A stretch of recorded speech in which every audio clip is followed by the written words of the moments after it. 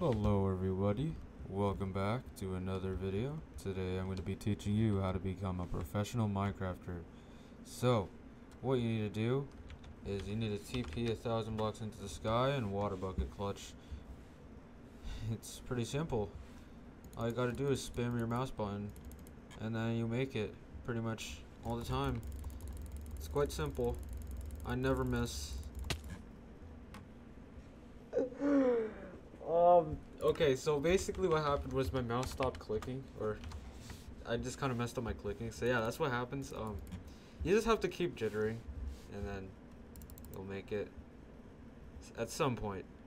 I don't know when. You see? Right there.